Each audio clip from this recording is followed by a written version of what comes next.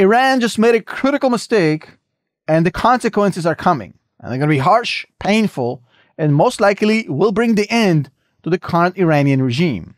You see, the October 7th attacks were supposed to drive a wedge between Israel and the Saudis. Now, the Saudis are not a huge fans of Iran. Israel is not a huge fan of Iran either.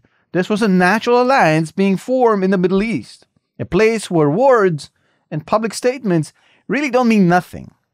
Whenever somebody says something on TV or in a public statement in the Middle East, it's literally, probably, most likely the opposite of what they actually mean. In fact, if you really want to understand what's going on in the Middle East, you got to look at the map of interest, not hearing what people are saying, especially politicians. Now, look, the Saudis and the UAE have feared Iran.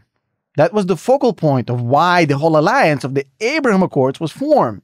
They have a mutual fear or disdain or hate with Israel against Iran. Now, the idea of the October 7th attacks, which were carried out by the terrorist organization Hamas, but financed, planned, and actually executed from a remote control position by Iran, were to drive a wedge between the Israelis and the Saudis and the UAE. The idea was very simple get Hamas to do unspeakable things, get the Israelis to react, and in doing so, you achieve two birds with one stone. Number one, you make the UAE and the Saudis see that Israel isn't as strong as they thought it was, making it an undesirable alliance member, especially one that's supposed to be the enforcer. And the second goal was get the Israelis to respond harshly, as you would expect, and that response would cause the Israelis to be persona non grata, unacceptable, not legitimate on the Arab street, which would cause the UAE and the Saudis to take a step back from the Abraham Accords. Now, that plan completely backfired, and Iran is dealing with consequence of its own, trying to save its own regime. In fact, how bad it backfired? Well, let's take a look at the map of interest because that's the only thing that matters in the Middle East. Now, let's start with Saudi and the UAE, the United Arab Emirates. These two Gulf countries are extremely important on the global stage because of the energy aspects they bring, but they're also very important on the Arab stage. They're the leaders of the Arab world as we see it today. Now, these two countries have feared Iran well before the October 7th attacks. This was no secret.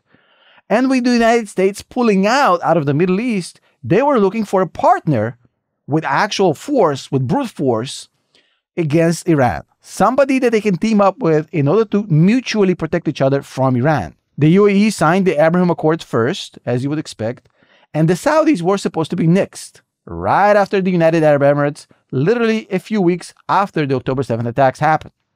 Now, Iran tried to torpedo this process by causing this reaction that I just talked about, a chain reaction which takes Israel out of the game, making Saudi Arabia and UAE weaker because now they don't have an enforcer on their team. It's not really about Israel, it's about the dominance of Iran in the region. Now, the public outrage was huge against Israel, for sure all over the Arab street, including Saudi Arabia, and I'm sure also in the UAE. People are not happy about what's going on in Gaza from their perspective. But, and there's a huge but here, in reality, Saudi Arabia and UAE are now more scared of Iran because of what they've done on October 7th than ever before.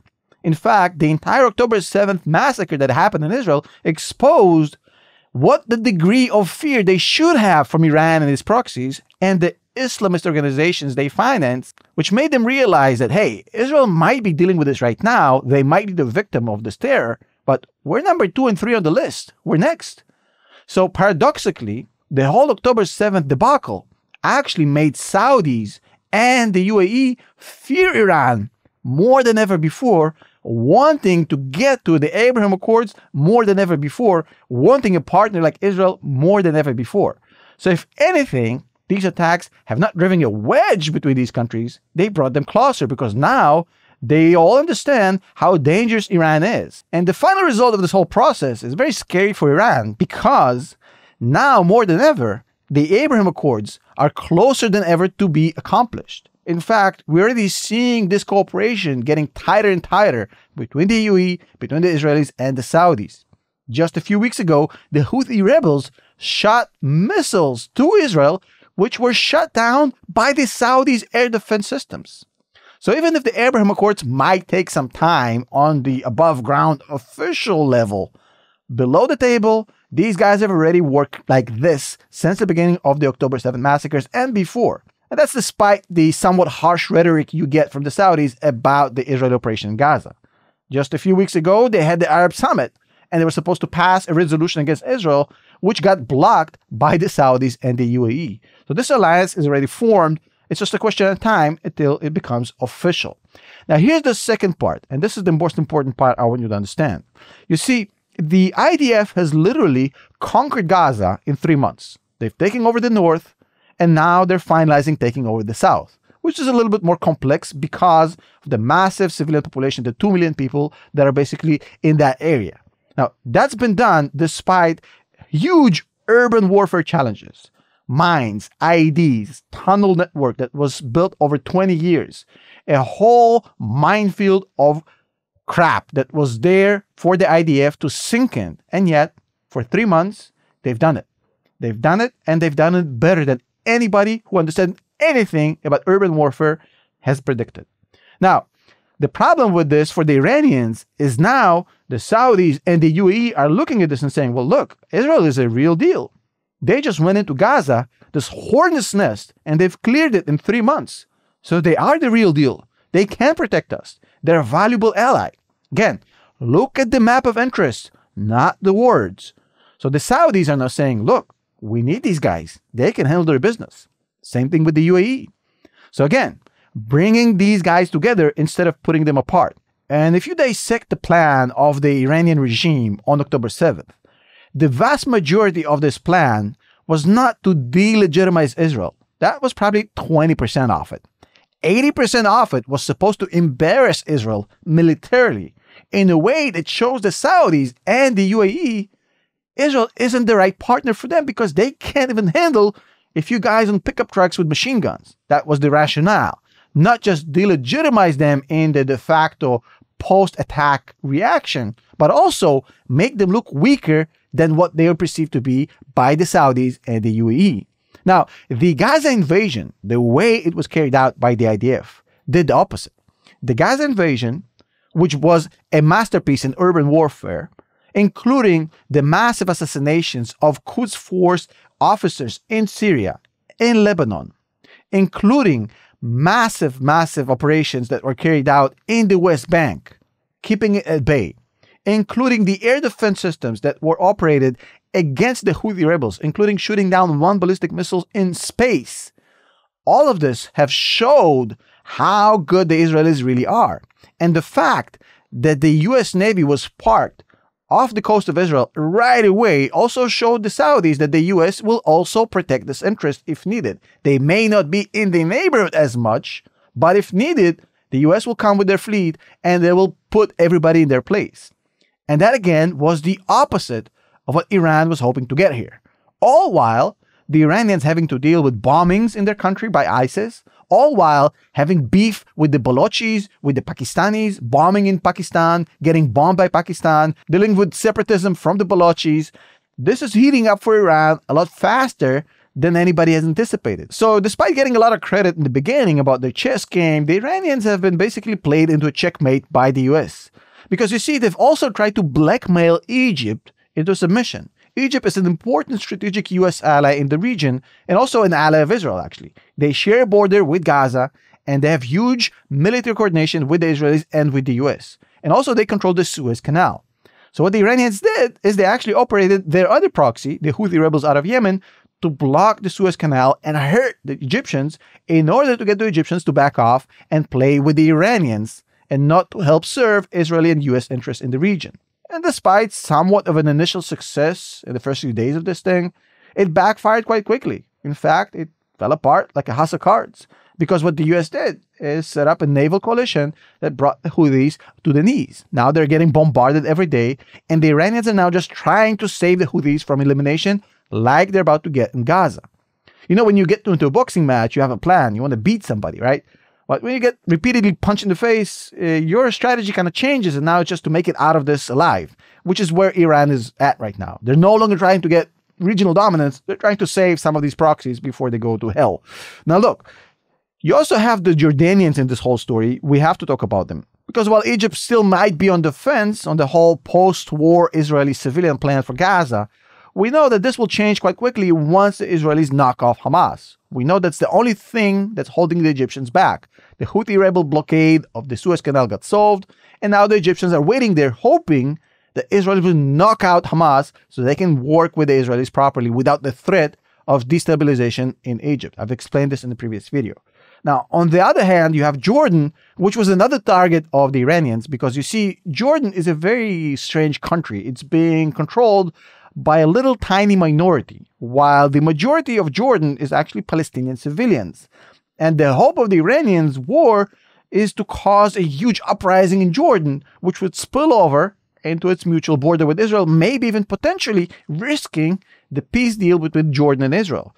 That has never happened. In fact, just a few days ago, we saw some idiot in Jordan open a restaurant and naming it October 7th, which got shut down by the authorities within two days.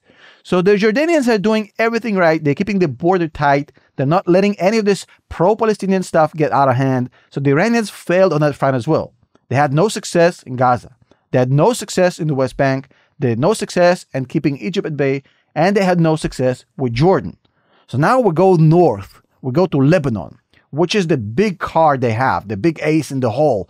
Hezbollah. Now, Hezbollah is a whole different story. In fact, I would say that they're the biggest proxy group Iran operates. They're actually quasi military. They have armored vehicles, they have massive inventory of ballistic missiles, they have trained military troops on the border with Israel. So they got what it takes to get some blood out of Israel, to really hurt the Israelis. Not to strategically defeat Israel, but to cause a lot of pain, a lot of mayhem, hurt some serious infrastructure, not what's happening in Gaza right now. Now, Hezbollah actually is fighting a war of survival internally back home. And that's something that you don't really hear in mainstream media because they're too busy with the surface level analysis. You see, Hezbollah, for the past two years, has been in serious trouble in Lebanon which has nothing to do with Israel, actually. Uh, about two years ago, Hezbollah actually lost the majority in the Lebanese parliament. Yes, Hezbollah is an actual political party in Lebanon, and until two years ago, they actually were the controlling party. So they got to appoint a president in Lebanon, which let them be and let them create this paramilitary organization that's completely adjacent to the Lebanese military. Now, two years ago, Hezbollah actually lost this majority in the Lebanese parliament, and now they're struggling they have to get somebody appointed to the presidency of Lebanon that's going to be friendly to Hezbollah. Otherwise, any normal president that's going to step in is going to say, look, guys, you cannot be a paramilitary organization. We have sovereignty over this country. We have the Lebanese army. Disarm yourself and become a normal, proper Lebanese political party. This is unacceptable. This is the biggest fear of Hezbollah, and this is what they're trying to actually prevent. It's not about Israel. It's not about the war. It's about internal politics. Now, the deal that's currently being formulated with Hezbollah actually cuts Iran out of this. The United States came to Hezbollah through different mediators and told them, hey, look, forget Iran for a second, forget your sponsor. If you don't survive in Lebanon, you're gone, right? So we'll help you, you help us. We, as the United States, with all our resources, with every asset we have, will support your presidency candidate, right? The one that's going to be friendly to you, the one that's going to leave you alone. In return, you're going to pull back from the Israeli border and move north. And that way, we scratch your back, you scratch our back, and then forget about Iran. You can deal with them later. So the Iranians are not happy about that as well. Obviously, the United States meddling with their biggest proxy is a huge deal. But the carrot that's being dangled in front of Hezbollah is huge. And that deal actually may go through, which would essentially eliminate Hezbollah as another proxy against Israel, at least for the near term. One thing they don't tell you about Hezbollah is that it's facing massive, massive opposition from home, from inside. And that's a huge deal for them. So let's see how this thing plays out. But Hezbollah right now has been basically decommissioned by the US through diplomacy. And what about Israel itself? Well, Israel had a few goals in this operation, in this war. One was to take out Hamas. They took over the north. They're about to take over the south. They only have one city left, which is Han Yunis, which is the hornet's nest. Once they take it out, Hamas rule is over. They may not be able to destroy the concept of Hamas, the movement, but Hamas rule will be over once Han Yunis is done, which is a matter of about 30 days. On top of it, there's virtually no more rockets being fired on the center of Israel, maybe a little bit on the outskirts, but they've essentially eliminated the rocket infrastructure of Hamas. And on top of it, they're actually taking a slice out of Gaza to protect themselves, which is not only operationally smart for the Israelis to create a buffer zone between their cities, their towns, and Gaza, which is something that didn't happen before, but it's also symbolic because now it shows the Palestinian people of Gaza that every time they start a war against the Israelis, they're going to lose some territory. And we've talked about how important that is in the Middle East. And also, the Israelis just got UNRWA finally defunded. UNRWA, which was a terrorist organization, which is now proven by the Israelis because they had evidence that about 12 people out of UNRWA participated in the October 7th massacres. So UNRWA is now being defunded, which was a huge achievement for the Israelis. They have tried to do this for 20 years. Finally, they got it done. So the Israelis are checking all the single boxes they had for this war. And what about Hamas itself? Well, that's complicated. You have two Hamas you have the political bureau, and you have the military bureau. So the military wing isn't going to give up anytime soon. They're not going to surrender. They're going to literally fight until the last person. Why? Well, because they have 130 hostages, which they can trade in for an amnesty or for some rescue plan or for whatever it is, a get out of execution plan. So they know that they will get out. Sinwar knows he'll get out. Everybody knows they have a way out with the hostages. They don't care how many Palestinians die. Even if all 2 million die in the process, they couldn't care less. They don't care about the Gaza people at all. So they may be fighting, but it's irrelevant because the political wing of Hamas have already given up. You see, the Palestinian Authority is now attacking Hamas publicly, which is something that never happened before like that in their newspapers, in their interviews, talking about how Hamas ruined Gaza. On top of it, the political bureau of Hamas, including Musa Abu Marzouk, was actually making statements about recognition of Israel, about how the Palestinian Authority is the proper representative of the Palestinians, and now these guys from the political bureau just want to get a part of this. The political bureau of Hamas understands that the game is over, and now their only interest is to get a job in the new Palestinian Authority. So the Palestinians here are the real story. What about the Palestinians? Well, now there's anti-Hamas protests in Han which is unthinkable before October 7th which means Hamas is losing the legitimacy on the street from the majority. They may keep their loyals, they may keep their base, but the majority is basically saying, enough, you guys just screwed us. On top of it, according to a recent poll in Gaza, 70% of Gazans actually have a negative opinion of Iran. One, because they dragged them into this, and number two, because they didn't help them with Hezbollah when the war started. They just let the Israelis go crazy. So Iran's influence on the Palestinian street in Gaza is over. And now we're left with one player in this whole equation, which we haven't mentioned yet Qatar. Now, Qatar is officially beefing with Israel, right? And the reason is because the Israelis won't accept a deal which would save Hamas. Now, the Qataris have a stronghold over Hamas. They want to keep that influence, that clout. The Israelis are saying, we're not going to save Hamas for you guys. Sorry. So there's a beef there, but it's not going to continue forever because once Hamas is gone, the Qataris would love to get involved in Gaza. They would love to keep their influence. And in order for them to do that, they're going to need Israel approval. It's kind of a mutual understanding that the Qataris and Israel will be fine after this over, but the Qataris will definitely try to save Hamas, but it's not going to work. Now, what about the day after? Look, Hamas is not going to be the ruler of Gaza in the day after. That's quite clear. It might survive as a concept, as an organization, sure, but the rule of Hamas is gone. Uh, the Palestinian Authority will be unfortunately resurrected with some new blood. I don't know who's going to take over it. We'll see. Uh, Iran ties to the Gazan people, to the Gaza infrastructure, is virtually gone. Qatar influence will remain through this Israeli relationship post Hamas. And up in the north, Hezbollah will be back dealing with their own mess. They have a huge opposition, huge problems back home. They don't need this war. So once this thing gets wrapped up, Hezbollah is going to basically back off. Now, the Houthi rebels, I don't know if they survive this or not in one configuration because they're being slammed into eight pieces by the US coalition. We'll see. Egypt will definitely play ball with the US and Israel in the region in Gaza post Hamas. I've explained why. And the Abraham Accords are on the rise. In fact, they're already operational. We just need to see the official acceptance of these accords. But this attack, the October 7th attack, literally took down Iranian influence in the region, broke multiple proxies for them, caused massive internal mayhem for Iran, huge problems for Hezbollah, and brought the Abraham Accords all the way to the front of the agenda for this entire region. And most importantly, and kind of overlooked here, it actually got the US to get its act together for the first time in 20 years in the region. So I would say this was a very unrewarding exercise for Iran. Now, as always, these videos are not fully monetized given the nature of what we're saying here. I get it. I totally understand. No problem. If you would be one of the supporters of this channel, I'd really appreciate it. There's a way you can do it. You can either become a channel member or you can join our Patreon at patreon.com forward slash Tom Report. And even if you're not, it's fine. Just watch the videos, enjoy them, share them with people who actually want to expand their mind about what's going on here. Thank you so much. I'll see you in the next one.